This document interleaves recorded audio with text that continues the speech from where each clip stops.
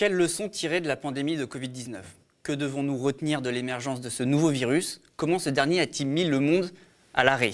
Pour comprendre, décrypter cette pandémie et prévenir les prochaines, il nous faut nous intéresser à son origine et à sa nature. C'est ce qu'a fait la journaliste Marie-Monique Robin, auteure d'un livre éclairant La fabrique des pandémies, préserver la biodiversité, un impératif pour la santé planétaire.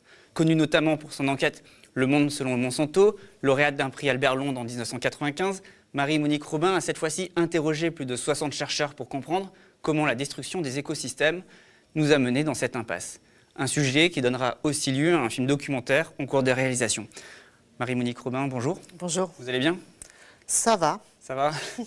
Alors, je vous ai invité notamment parce que je trouve qu'on ne parle pas assez d'écologie en ce moment quand on parle euh, du Covid-19 et notamment dans ce contexte de pandémie. Je trouve ça assez étonnant parce que l'un des sujets aujourd'hui, c'est que euh, la destruction de la biodiversité, finalement, c'est l'un des facteurs d'émergence de ces nouveaux virus. Et c'est un des euh, sujets que vous mettez aujourd'hui euh, sur la table avec ce livre quand vous parlez de ces maladies infectieuses. Oui, tout à fait. Vous savez, il faut se replonger un petit peu en arrière. En 1980, l'Organisation mondiale de la santé s'est dit Waouh, youpi, on a éradiqué la variole, c'est la fin des maladies infectieuses. On oublie au passage qu'il y a encore le paludisme, ça concerne que les pays africains, donc voilà. Euh, voilà. Et l'OMS dit maintenant on va pouvoir se consacrer aux nouvelles maladies de la civilisation, les maladies chroniques, etc. Et puis patatras, 1976, euh, Ebola, dont on reparle aujourd'hui, hein. et puis le sida. Mmh. Parce que Ebola et le sida ont en commun que ce sont des zoonoses, c'est-à-dire des maladies transmises à partir d'agents pathogènes qui viennent d'animaux sauvages vers les humains. Et puis après, la liste est très longue. Hein. Euh, le SRAS, le, numéro, le, premier, 2003, mais aussi MERS, le Nipah, euh, Zika, Chikungunya, etc. Euh, etc. La liste, est très longue. En fait, l'OMS dit que jusqu'en 1970, il y avait à peu près une émergence, comme on dit, de maladies infectieuses tous les 10 à 15 ans, parmi lesquelles on comptait beaucoup de maladies qui sont des, liées à la résistance aux antibiotiques, parce que ce sont des maladies infectieuses, évidemment. Et puis, euh, depuis les années 2000, le rythme considérablement augmenté. On est passé de 1 à 5, et plutôt 5 nouvelles émergences par an. Par an. Donc voilà, c'est quoi l'origine? Pour moi, c'est très clair maintenant, après avoir interviewé ces 62 scientifiques qui étaient donc des virologues, des zoologues, des parasitologues, mais aussi des anthropologues, des, médecins, des vétérinaires, des spécialités très différentes. Et du monde entier et des cinq continents. Mais je dirais quand même qu'ils ont quelque chose en commun, c'est qu'à un moment dans leur carrière d'experts, euh, euh, ils étaient excellents dans leur discipline, il s'est passé quelque chose. Ben justement, qu'est-ce qui s'est passé? Il s'est passé qu'ils ont compris qu'on euh, ne pouvait pas continuer à s'intéresser au virus, par exemple, sans essayer de comprendre qu'est-ce qui faisait qu'à un moment, un virus qui est hébergé par une chauve-souris depuis la nuit des temps et qui n'a jamais emmerdé personne, se met à être dangereux. Ils revendiquent tous une nouvelle discipline qu'on appelle en anglais disease ecology, l'écologie de la santé, hein, qui serait une espèce de chapeau commun. Hein. Voilà. Et la transdisciplinarité d'ailleurs pour trouver des solutions à ces nouveaux défis euh, qui caractérisent l'Anthropocène, euh, donc l'ère dans laquelle nous sommes entrés, à la fois le dérèglement climatique et l'extinction de la biodiversité, parce que les deux sont liés. Alors, qu'est-ce qu'ils disent? Eh Ils disent que très clairement, la première cause, la première, qu'on trouve dans toutes les maladies infectieuses émergentes, euh, eh bien, c'est la déforestation c'est la destruction des forêts primaires, notamment euh, tropicales. Pourquoi? Parce qu'en fait, euh, ils ont constaté que les agents pathogènes ne sont pas distribués par hasard sur cette planète. Hein. En fait, plus on va vers les tropiques, plus il y en a. Pourquoi? Parce que c'est là il y il y a une grande biodiversité, beaucoup d'animaux sauvages, etc. Et des plantes aussi d'ailleurs. Et, donc, euh, ça veut dire qu'il y a un potentiel d'agents pathogènes euh, très important. Alors là, on pourrait se dire, OK, ben, si c'est comme ça, on rase toutes les forêts, on continue de les raser, et puis on extermine les chauves-souris, les rongeurs et, les primates, qui sont les principaux réservoirs. Et puis voilà, eh bien, c'est tout le contraire qui se produit. Et c'est ça qui est très intéressant, c'est qu'en fait, c'est complètement contre-intuitif, en fait. Ce qu'ils ont mis au jour comme mécanisme, c'est qu'en fait, la biodiversité protège la santé. Comment? Eh bien, dans une forêt primaire euh, équilibrée, où il y a une grande biodiversité, les agents pathogènes potentiels opèrent à très bas bruit. Et l'exemple qui est souvent donné, que je trouve très éclairant, c'est celui de la maladie de Lyme aux États-Unis, parce que ce sont deux scientifiques américains qui ont mis au jour un mécanisme qu'ils ont appelé l'effet dilution. Il faut savoir que là-bas, le réservoir de la bactérie qui va infecter les tiques, lesquels vont ensuite potentiellement infecter les humains, euh, aux États-Unis, c'est la souris à pattes blanches. Donc, Si on veut qu'une tique qui a besoin de sang pour se nourrir ne morde pas systématiquement une souris à pattes blanches, ben, qu'est-ce qu'il faut? Ben, Il faut plein d'animaux, il faut plein de mammifères euh, et d'autres rongeurs d'ailleurs, hein, euh, qui ne soient pas des souris à pattes blanches, des écureuils, des oiseaux qui passent par là, et la tique, elle ne fait pas la fine blouche, elle, mordra euh, celui qui passe par là. Et eh bien, s'il y a une grande diversité, la probabilité qu'elle morde une souris à pattes blanches est, d'autant plus réduite. En plus, si vous ajoutez à ça que quand on casse les forêts, les premiers à partir, c'est les prédateurs, parce que les prédateurs, ils ont besoin d'espace, pour vivre, et bien les prédateurs, ils contrôlaient la population des rongeurs, y compris des souris à pattes blanches. Donc on voit comment la biodiversité dilue le risque infectieux. Et, euh, la déforestation, à l'inverse, eh bien évidemment, euh, accroît ce risque, d'autant plus que, alors ça c'est le deuxième facteur, que vous avez euh, pas très loin des élevages intensifs, qui vont souvent servir d'amplificateur d'un virus, par exemple, qui est émergé d'une chauve-souris. Et puis, troisième facteur, euh, l'urbanisation, c'est-à-dire la concentration humaine dans des conditions de très grande précarité, je pense qu'on en parlera aussi, d'humains, euh, voilà. Et, pour finir, la globalisation, c'est-à-dire le fait qu'on balade sur toute la planète des milliards d'animaux morts ou vifs d'ailleurs, des humains, des marchandises, qui fait évidemment qu'un agent pathogène surgit d'une forêt chinoise peut euh, se retrouver à l'autre bout de la planète. Finalement, la biodiversité, c'est le sujet que vous soulevez avec ce livre. C'est un peu ce que vous mettez en avant et c'est un petit peu la raison pour laquelle vous l'avez écrit d'ailleurs. Oui, parce qu'en fait, moi, je m'étais bien sûr intéressée, quand on s'intéresse à Monsanto, bah, évidemment qu'on euh, s'intéresse à la biodiversité. Quand vous racontez comment on rase des forêts en Argentine, ce que j'ai filmé, pour mettre du soja transgénique qui va ensuite nourrir les poules, les vaches et les cochons des, élevages industriels européens, évidemment qu'on parle de biodiversité. Mais moi, je ne savais pas à quel point cette biodiversité, si vous voulez, c'est pas simplement un supplément d'âme, de bobo écolo à vélo, vous voyez ce que je veux dire? Euh, c'est pas uniquement le fait que, évidemment, c'est triste que les pandas disparaissent, que les oiseaux disparaissent. Enfin, l'extinction de la biodiversité, c'est terrible d'un point de vue émotionnel, enfin, etc. Mais ça va bien au-delà de ça. C'est-à-dire que euh, la biodiversité en soi, en fait, c'est notre maison commune. Voilà. Euh, c'est ce qui fait que la vie est possible sur cette planète et la vie non seulement de nous, les humains, mais de tous les autres organismes vivants, les animaux sauvages, domestiques, les plantes. Et tout est interconnecté. C'est ça que disent aussi ces scientifiques on ne peut pas avoir des humains en bonne santé si on détruit les écosystèmes ou si les mm. écosystèmes sont en mauvaise santé. Et, ça, c'est très nouveau, en fait. D'ailleurs, tout à l'heure, vous avez parlé d'écologie de la santé. C'est l'émergence aussi, euh, dans le champ scientifique, de nouveaux paradigmes avec One Health, avec la santé planétaire. Ça, c'est des sujets notamment que vous, euh, vous abordez, notamment avec Serge Morand, qui a, écrit la préface, qui est lui, justement, un écologue de la santé. Tout à fait. D'ailleurs, je lui rends hommage à Serge parce qu'en fait, moi, quand j'ai découvert ce sujet, c'est tout à fait par hasard, enfin, entre guillemets, en janvier 2020 en lisant un article du New York Times euh, qui disait We made the pandemic, c'est nous qui sommes à l'origine de la pandémie. Je me suis dit, tiens, c'est quoi J'ai commencé à chercher, je sais bien faire ça. Je suis tombé rapidement sur Serge Morand, qui travaille pour le CNRS et le CIRAD, qui est un organisme de recherche et qui, vit en Thaïlande depuis 8 ans. Je l'ai appelé et puis euh, ça, vraiment, ça a été très sympa, très vite. Il m'a dit il faut, il, faut, il faut que tu y ailles, il faut que tu rapproches, comme tu as fait pour le monde sur le Monsanto que tu rapproches tous ces scientifiques qui, depuis une vingtaine d'années, tirent la sonnette d'alarme en disant attention, attention, nous sommes rentrés dans une ère d'épidémie, de, pandémie, et aujourd'hui ils ajoutent une ère de confinement chronique, hein, parce que ça, c'est hmm. vraiment pas une très bonne nouvelle. Hein. C'est-à-dire que tant qu'on est uniquement sur la gestion à très court terme de cette crise sanitaire, on cherche un vaccin, un traitement, c'est légitime, mais le monde d'après, c'est quoi? Ben C'est prendre des mesures pour s'attaquer aux causes de l'émergence de ces maladies. Alors, euh, ça veut dire par exemple qu'on arrête d'importer du soja transgénique d'Argentine ou du Brésil pour nourrir les élevages industriels, parce que quand on fait ça, quand on mange un poulet qui n'est pas bio, produit par un producteur local français, eh bien, on contribue à la déforestation en Argentine.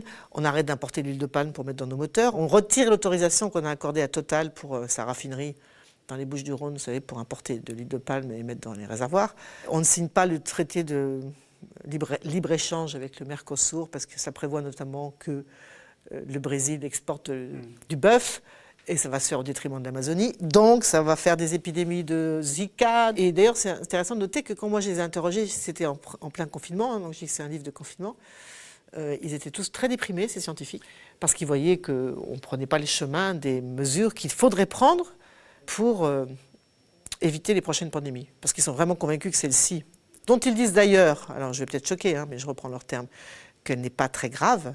évidemment, il y a toujours trop de morts, mais ce qu'ils veulent dire par là, c'est que c'est un virus qui tue moins d'un pour cent des personnes qui sont contaminées. Si vous comparez avec euh, Ebola, dont on reparle aujourd'hui en Afrique, bah, il tue 60 à 80 des gens qui sont contaminés, vous voyez un petit peu. Mm. Donc il faut véritablement s'attaquer aux causes, et les causes elles sont écologiques, avec tout ce, tout ce qui, évidemment, accompagne. Qu'est-ce qui fait qu'on détruit les écosystèmes? Eh bien, ce sont les grandes multinationales comme Monsanto, que je connais, pour faire des soja transgéniques. Ça préfigure un peu un monde euh, quand même euh, dangereux, quoi. Enfin, on a l'impression que on peint le tableau d'une société dystopique, quoi, une science-fiction. C'est pas de la science-fiction parce qu'on y est déjà. La hein. réalité. Euh, Serge Morand, par exemple, m'a raconté que, euh, si vous voulez, dans l'histoire de l'humanité, il, y, avait eu trois grandes transitions épidémiologiques. Hein. quand des humains sont sortis d'Afrique, euh, entre il y a 150 000 ans, pour aller coloniser l'Asie, l'Europe, etc. Alors évidemment, ils sont partis avec un fardeau d'agents pathogènes qui, étaient dont ils avaient hérité d'un ancêtre primate commun.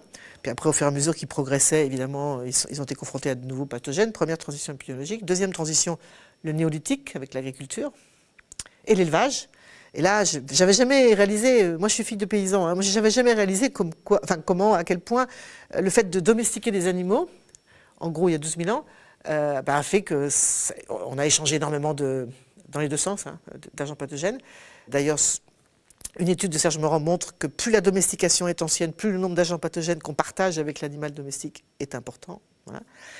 Voilà. deuxième grande transition. Troisième grande transition, les grandes conquêtes européennes, donc la colonisation, euh, le, trafic d'esclaves, enfin, etc., etc., et puis les grandes routes du commerce qui ont fait qu'on a baladé euh, voyez, sur des bateaux, etc., la peste, donc voilà.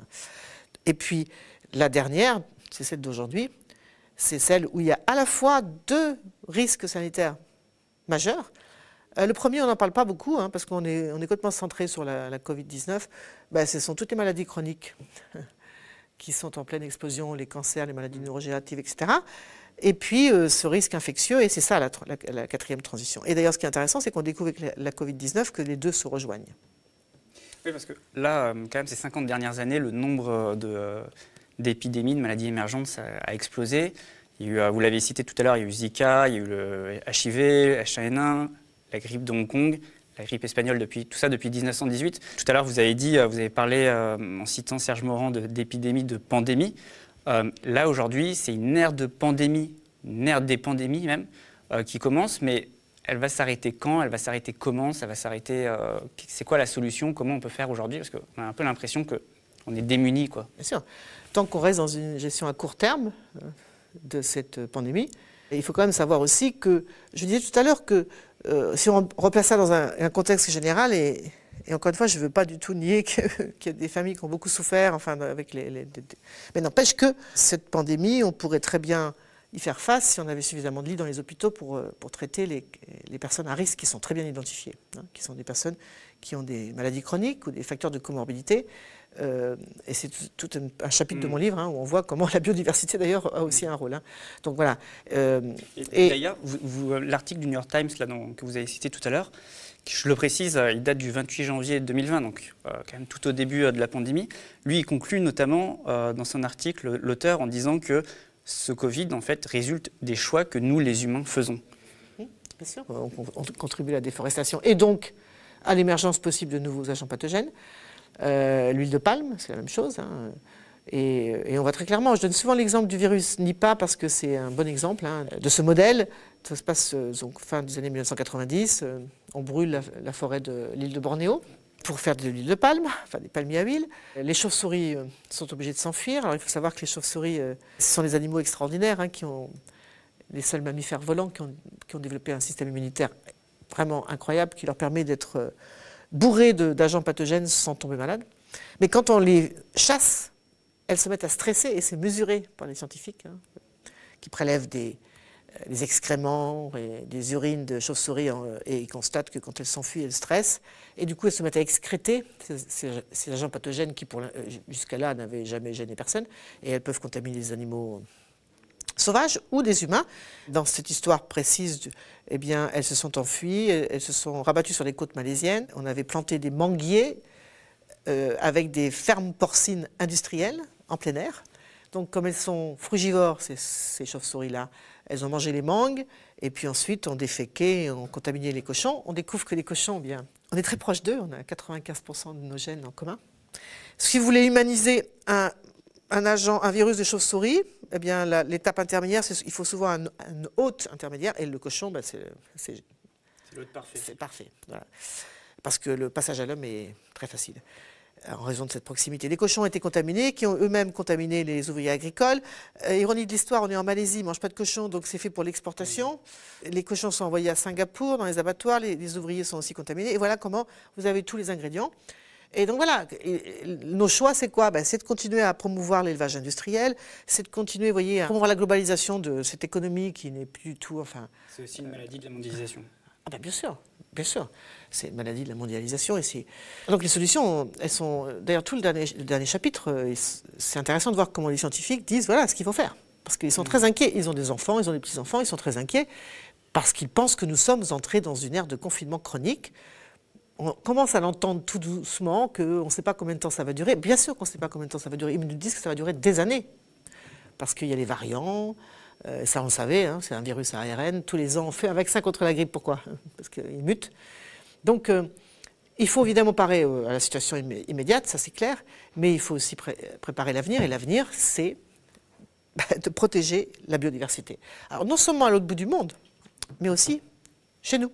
Parce que ce que je démontre aussi dans ce livre, et pour moi ça a été la plus grosse découverte, je ne savais pas, je suis tombée vraiment du placard, je dois dire, c'est le fait que quand des enfants grandissent dans un environnement très bétonisé, où il n'y a pas de biodiversité, et surtout de, entre 0 et 2 ans, eh bien leur euh, microbiote, c'est-à-dire leur flore intestinale va être très pauvre mmh.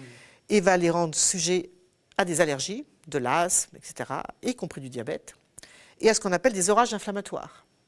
Et qu'en revanche, ceux qui sont nés dans un environnement où il y a beaucoup de biodiversité, des études américaines, euh, russes le montrent très très bien, eh bien ces enfants-là, y compris chez les Amish, ça, me faisait beaucoup rire quand j'écrivais ça, parce que évidemment c'était au moment où M.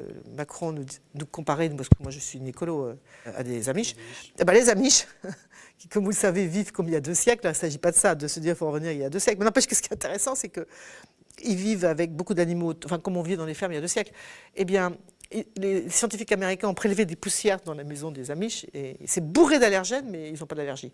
Les enfants qui grandissent en ferme, finalement, sont moins, voilà, une autre, voilà, une autre étude... touchés par les allergies ou par, Oui, mais c'est intéressant parce qu'en fait, vous vous rendez compte que finalement, euh, cette hypothèse de la biodiversité, comme ça, c'est comme ça qu'on l'appelle, ou l'hypothèse de la ferme, c'est une autre manière de le dire, ou l'hypothèse de l'hygiène, c'est encore une autre troisième manière de le dire, c'est toujours la même chose pour, construire le système immunitaire, on doit être confronté à plein d'agents, euh, des microbes, etc. Mm.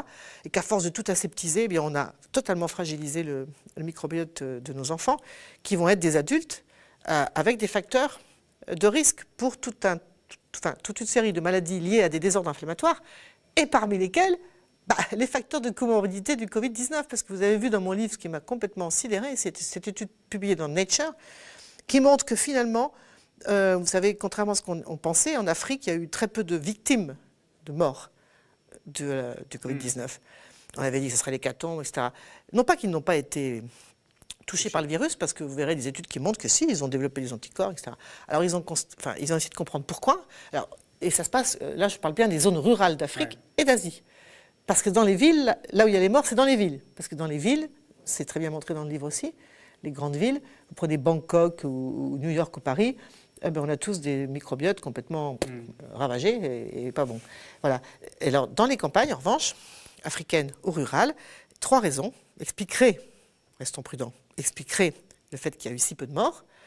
Un, le fait que les, ruraux africains bien, sont exposés par l'intermédiaire de animaux domestiques qui se baladent, euh, contrairement à chez nous maintenant, hein, et qui vont même aux lisières des forêts, croiser des chauves-souris, etc., auraient donc une immunité partielle due à cette, voyez, euh, euh, bah, cette exposition à certains types de coronavirus qui ne sont pas exactement le même, mais ça suffit pour faire un, peu d'immunité. Deuxièmement, ils sont exposés à une grande biodiversité, donc, eh bien, euh, on résiste beaucoup mieux aux orages inflammatoires, hein, qui peuvent être fatals avec la Covid-19. Et trois, alors ça c'est le truc le plus dingue, ils sont exposés à des oxures, des vers intestinaux, parce que ce qui ressort de... ce que j'ai appris avec votre livre. ce qui ressort de ça...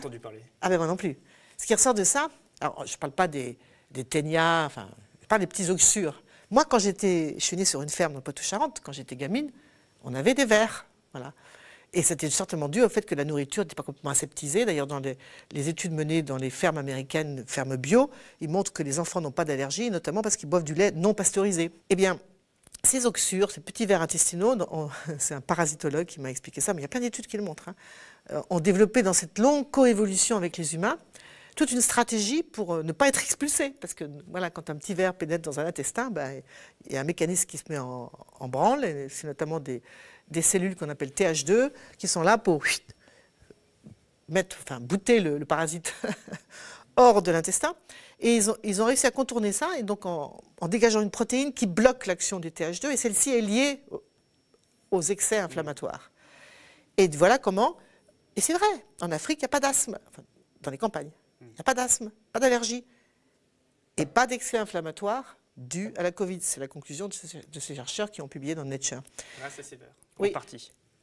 En partie, la biodiversité, mais ça, ça en fait partie. De la biodiversité, bah oui, ils font partie de la biodiversité, évidemment. Finalement, ce pas des parasites. Voilà. Bah, en fait, il y a une expression en anglais qui est old friends, les vieux amis de l'homme. Les vieux amis de l'homme, c'est tous les microbes et parasites. Vous savez, les gamins qui se traînent par terre et qui mettent tout dans leur bouche, on dit Ah non, mais si, si, vas-y, vas-y, vas-y, mets dans la bouche, parce que c'est comme ça que tu vas construire ton système immunitaire. Et en fait, vous voyez comment la biodiversité, elle joue là à deux niveaux. La première était assez, pour moi, si vous voulez, de se dire qu'il y a un lien avec la, déforestation, le fait que quand on casse les forêts tropicales, les hommes rentrent dans la forêt, ce qui s'est passé avec Ebola ou, ou, le sida, par exemple, ou le VIH. Et que du coup, bah, les primates, par exemple, dont on est très proche, 99% des gènes partagés avec les chimpanzés, eh bien évidemment que cette intrusion dans ces espaces naturels va faire qu'on va être confronté. Ça, ça me paraissait bon, voilà. Alors c'est très bien décrit par ces scientifiques qui ont pris ça par tous les bouts. Vous avez, vu hein. le rôle des routes quand on construit des routes, enfin tout. Vous prenez aussi l'exemple euh, de la Guyane avec leur paillage, les risques que ça entraîne. Ouais. ouais. Oui, tout à fait. Des facteurs. En fait, on crée ce qu'ils appellent des territoires d'émergence. Hmm. Voilà. Et donc, eux, ils disent aujourd'hui, ce qu'il faut, c'est, une fois qu'on a identifié ces facteurs, c'est maintenant eh prendre des mesures pour ne plus créer des territoires euh, d'émergence, n'est-ce pas? Alors ça, c'est la première chose. Mais la deuxième chose, le fait que l'absence de biodiversité, finalement, affaiblit notre système immunitaire, vous voyez, la biodiversité, elle est capitale dans les deux cas. C'est-à-dire, on la détruit, du coup, ça fait émerger des agents pathogènes qui étaient là à bas bruit et qui ne nous embêtaient pas. Et en plus, on est fragilisé parce que nous avons manqué de biodiversité pour ceux qui vivent dans les villes depuis leur petite enfance. Et euh, il y a un moment, il va quand même falloir se réveiller. Et j'ai déjà dit ça mille fois pour les maladies chroniques. Mais c'est marrant parce que moi qui travaille depuis des années sur ces questions, finalement, ça remet tout en. Ça remet de la cohérence dans tout ça. Hmm. Moi, j'ai tout est lié. Oui, tout est, lié. C'est ce que disent d'ailleurs, c'est ce qu'ils répètent les scientifiques que vous interrogez, tout est lié. Tout est lié. Évidemment, tout est lié. C'est le principe de la santé planétaire, ah. justement, Douane Elf, tout ça. Voilà. Et donc, euh, ce qu'ils disent, c'est qu'il faut maintenant euh, revenir, enfin, construire un nouveau paradigme qui est d'ailleurs très urgent parce que nous sommes rentrés euh, dans une nouvelle ère qui est l'Anthropocène, hein, donc, où, où, les humains sont la principale force de transformation de, de la planète, et qui se caractérise par le réchauffement climatique, l'extinction de la biodiversité, et les deux sont liés. Hein, parce que ce qu'ils disent aussi, c'est que si on prend les bonnes mesures, eh bien c'est du gagnant-gagnant. C'est bon pour le climat, c'est bon pour la biodiversité et c'est bon pour la santé. Hein.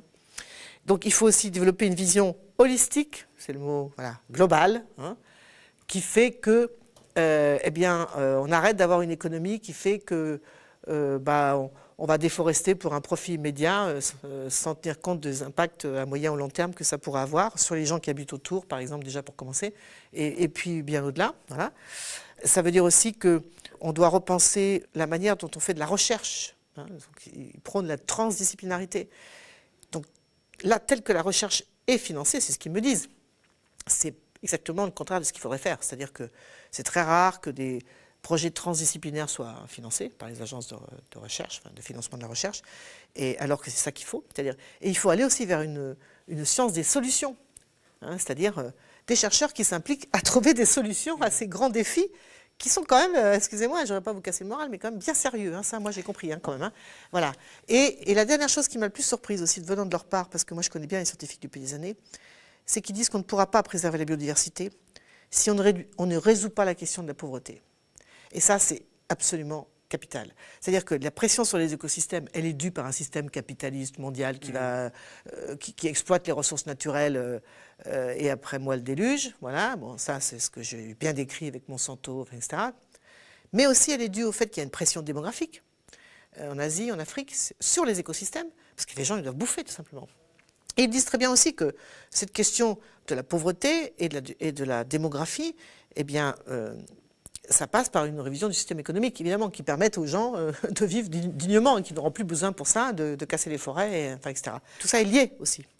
Et la question des inégalités est abordée aussi de manière très claire dans ce livre et par un, mathématicien américain.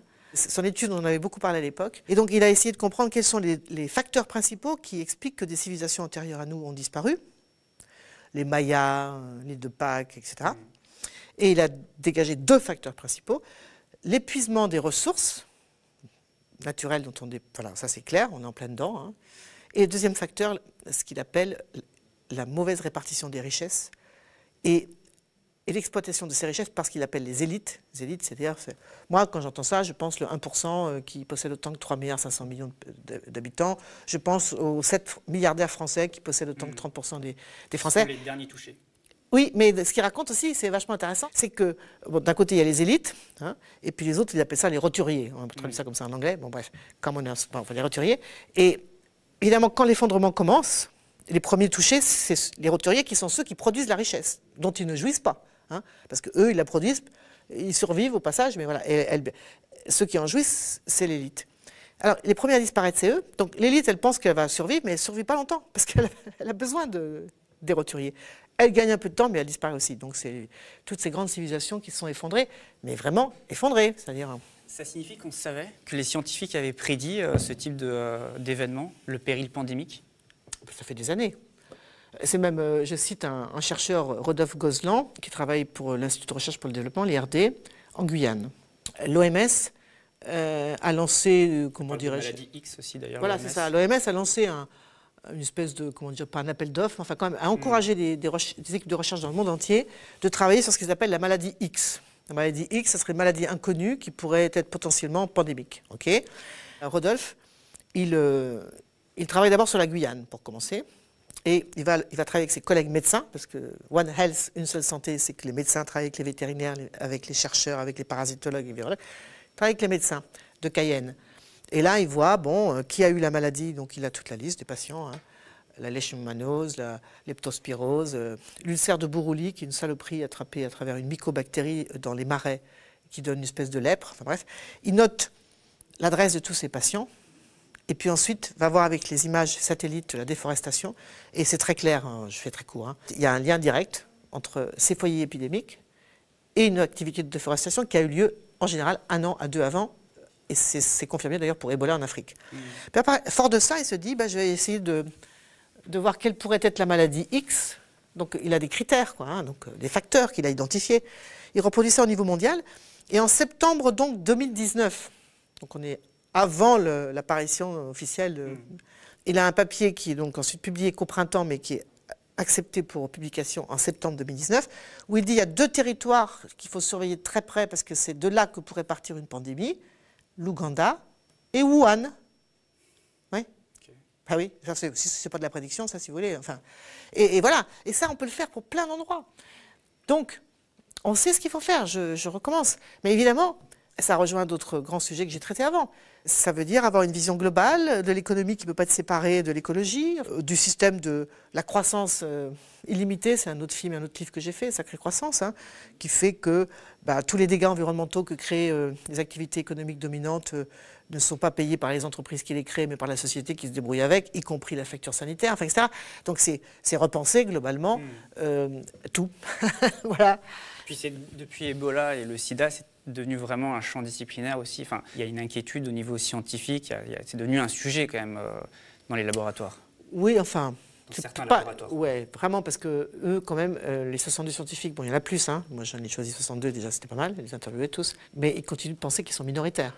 À l'opposé de tout ça, j'en parle dans le livre d'ailleurs, hein, vous avez toute cette école de virologues qui, eux, veulent des millions, hein, comme euh, Peter Daszak, dont on parle beaucoup régulièrement, pour faire ce qu'on a fait avec euh, les gènes, le génome, le séquençage du, génome, dont on nous avait dit à l'époque, vous allez voir, on va résoudre toutes les maladies. Voilà. En tout cas, c'est des milliards qui ont été récupérés par des laboratoires qui ont séquencé les gènes humains. Et maintenant, ils veulent faire la même chose avec le virome, séquencer tous les virus. Donc, c'est beaucoup d'argent pour tous ces laboratoires. Les scientifiques du livre que j'ai interviewé eh bien, disent que c'est inutile. C'est comme chercher une, une épingle dans une botte de paille il y a des millions d'agents pathogènes potentiels qu'on ne connaît pas. C'est bien beau de les avoir dans des banques, vous voyez 1,7 million de virus euh, estimés, inconnus. Oui, sans parler des, Mm. des mutants qu'ils pourraient avoir, plus les bactéries. Euh, Il y a les bactéries qui sont, pff, je ne sais même plus combien, donc voilà, pour les virus. Les avoir tous dans une banque, ça ne sert absolument à rien. Parce que ce qu'il faut savoir, c'est qu'est-ce qui fait qu'à un moment, euh, comme l'histoire que je vous ai racontée tout à l'heure du virus Nipah avec les chauves-souris, Bornéo et compagnie, qu'est-ce qui fait qu'à un moment, le virus qu'on a appelé Nipah va sortir du bois? Quels sont les facteurs qui, font que ben, ils vont émerger, vous comprenez? Et ça, c'est que l'écologie. L'écologie, mais collaboration avec d'autres disciplines. hein. Euh, c'est-à-dire à la fois ah bien, des, euh, effectivement des, des virologues, pourquoi pas, des médecins, des vétérinaires, euh, des agriculteurs, des agronomes. Ça ne sert à rien. Alors, ce qui est bien, c'est que ça, ça brasse des, des milliards, ok, très bien. Ça donne l'illusion qu'on va peut-être. D'abord, on va essayer de déposer des brevets sur ces sujets que je connais bien. hein, le brevetage du vivant, je connais bien. C'est un sujet sur lequel j'ai beaucoup travaillé. Et puis, donner l'illusion qu'on fait quelque chose. hein. Et pendant ce temps, ben, on fait comme avant, c'est-à-dire on ne change rien. Et, et après, à terme, on peut se dire, ah ben, finalement, euh, on va pousser de plus en plus loin dans ce qu'on appelle la biosécurité. C'est tout le premier chapitre de mon livre. hein. On a perdu beaucoup de temps avec euh, la biosécurité, vous dites. Ben, plus que ça, hein. c'est très inquiétant parce que euh, petit à petit, on voit bien comment euh, ce qu'on a fait subir aux animaux, qui est euh, à cause de comportements agricoles industriels totalement, euh, comment dirais-je, euh, irresponsables. hein. Bon, la crise de la vache folle, euh, par exemple, de faire bouffer de la farine euh, animale à des vaches, alors que moi je suis né sur une ferme, les vaches ça mange de l'herbe quoi. Si elles ne mangent pas de l'herbe, elles tombent malades, mais ça me paraît tellement. euh, Enfin, je sais pas, c'est comme si nous on se mettait à nous, donner à bouffer du, je sais pas, des, des billes de cuivre, vous voyez. enfin, ah, mais ils sont malades. Non, mais franchement, on a abattu des millions de vaches. Et puis après, vous faites la même chose en ce moment avec les poulets. hein. Le, le virus de la grippe aviaire, il a toujours été là. hein. Je- Ça m'a beaucoup intéressé, les spécialistes qui, qui m'ont parlé de ça, dont de- des chercheurs de l'Institut Pasteur d'ailleurs, euh, de Hong Kong, etc. Bah, le virus de la grippe aviaire, il vient d'oiseaux migrateurs. Bon, voilà. ils sont- Après, s'il contamine des poulets, ça peut devenir dangereux, mais surtout s'il contamine des poulets dans des élevages industriels où ils sont entassés euh, et maltraités. Là, il n'y a Et- aucune chance, le virus, il l'attrape forcément. et oui, puis non seulement ça, il, a- il acquiert de la virulence parce que ce sont des clones. D'un point de vue génétique, ils sont tous pareils, ils sont donc tous en plus très faibles. Et ben voilà, on connaît le, le, enfin, le processus. Après, si en plus, parce qu'un virus aviaire qui passe par des poulets, ça saute pas facilement à l'homme. Il faut, il faut que ça passe, par exemple, par le cochon, c'est le cas de la grippe H1N1, qui, je vous rappelle, est commencé en 2009 au Mexique. Élevage industriel de poulets et de cochons. Et comme je vous l'ai dit, ça passe par le cochon, alors là, poum, c'est la bombe. Mais c'est quoi le problème là? Ça, c'est les élevages industriels de poulets et de cochons. C'est ça le problème. C'est pas qu'il y a un virus chez les oiseaux migrateurs. Il y a beaucoup de dangers là, on a l'impression qu'on ne va pas pouvoir y échapper, puisque vous avez dit euh, notamment que l'un des principaux risques de foyer, euh, nouvelle épidémie, ça pouvait être l'Amazonie, mais l'Amazonie, potentiellement, ça peut être une savane dans 50 ans, au rythme euh, où la déforestation, elle va. On parle aussi de la fonte des glaces, notamment euh, du permafrost, qui libère euh, des virus qui sont millénaires. Enfin, c'est un peu désespérant. Moi, je comprends finalement que euh, les scientifiques que vous avez interrogés disent qu'ils sont déprimés, là. Nous aussi, on est déprimés, euh, moins que ça. Non, quoi. mais moi, je trouve quand même que dans mon livre, finalement, il y a quand même des bonnes nouvelles, parce que, excusez-moi, mais vu le marasme dans lequel nous vivons depuis un an, on comprend rien à rien, et pourtant, moi, je suis informée. Mais enfin, franchement, Mm. euh, moi, quand je les ai entendus, je me dis, ouf, là, j'ai compris, là. Euh, Parce que quand vous identifiez les causes, ça remet de la cohérence déjà, et puis ça veut dire qu'on peut agir, qu'il y a des solutions possibles. Mais la situation dans laquelle sont la plupart de nos compatriotes, on est partout dans le monde entier à savoir qu'est-ce qui va devenir ce virus, si cela, et puis les masques, un coup oui, un coup non, et on vous déconfine, on vous reconfine, et je te reconfine, et oui et non. Enfin, c'est mais c'est désespérant, c'est ça qui est désespérant. Oui, parce que vous nous dites quand même, il faut se préparer à la prochaine Bah euh, oui, mais au moins, épidémie. Vous moi le je sais, je suis là pour vous dire ça. Je l'ai dit hier sur un autre euh, plateau de télé, là, euh, c'est politique, j'ai dit ça. Euh, j'ai dit, on sait ce qu'il faut faire. Alors après, vous allez me dire, C'est que la surface immergée de l'iceberg, quoi, finalement. Oui, oui, mais Covid-19. bon, après, après c'est c'est la, la politique qui doit prendre le relais. Parce que quand on a identifié les problèmes, quelles sont les causes, il faut des On peut mesures. même l'empêcher. Bah oui, bah oui. Hmm. du, du coup, vous êtes d'accord avec moi tout à l'heure quand je disais que euh, finalement, on ne parle pas assez d'écologie aujourd'hui quand on parle du Covid. On en parle uniquement comme d'un problème sanitaire, alors qu'en fait, euh, le fond du sujet, c'est. Voilà. Bien sûr. C'est pour ça que j'ai cité euh, notre ancien ministre de l'Éducation, Luc Ferry, Luc qui a dit oui. euh, dans l'Express euh, de l'année dernière, en mars, euh, j'ai pas mes lunettes, 2020, euh, voir un lien entre la, la pollution de l'air, la biodiversité et la Covid-19 relève du surréalisme et pas de la science. Alors ça, cette citation, tous les francophones, parce qu'il y a plein de tous les pays du monde, donc euh, pas que des francophones, ils ont tous ricaner en disant quel, quel philosophe mal informé. Mais lui, il est comme, vous voyez, au moment de, euh, du climat. Il y avait les climato-sceptiques. Euh, Un autre collègue à lui, Claude Allègre, qui nous a fait perdre beaucoup de temps, euh, on n'entend plus, Dieu merci. Euh, et maintenant, on a des biodives sceptiques. Ouais. Et des gens qui ne sont pas informés, parce que moi, ce qui m'a impressionné, c'est la multitude, les centaines d'études qui montrent que le meilleur antidote pour, éviter la prochaine pandémie, c'est de préserver la biodiversité. C'est pas une déclaration comme ça, vous voyez, de Baba Cool qui dit ah, la nature c'est beau. Oui, bien sûr que la nature c'est beau. Mais ils ont mis au jour les mécanismes qui font qu'effectivement, c'est la destruction de la biodiversité qui nous met en grand danger sanitaire. Et ce sont des études publiées dans des grandes revues. Voilà. D'une manière générale, de toute façon, nous souffrons d'une vision techniciste. Euh, Il y a un exemple que je trouve très intéressant dans ce, livre. C'est celui qui dirige la chaire d'écologie évolutive à l'université Columbia. Bon, c'est pas une petite université, Columbia aux États-Unis, on est d'accord. Il raconte qu'un jour, euh, quand il arrive là-bas, ce nouveau poste, c'était un- une nouvelle chaire qui venait d'être créée au début des années 80. Il, il tombe sur deux collègues, un ingénieur et un chimiste, qui sont très excités parce qu'ils sont en train de concevoir un prototype d'une tour plus grande qu'un gratte-ciel, dont le but c'est de capter du carbone et qui est bon, plein de tuyaux avec de la chimie, tout ça. Ils disent ah, super, on, en mettra partout et ça va capter le carbone. Et là, il les regarde, il dit bah ouais, c'est un arbre quoi. Et les mecs, ils sont complètement énervés en disant mais comment ça, tu vas comparer notre tour à un arbre? Mais dit oui, les arbres, ils font ça.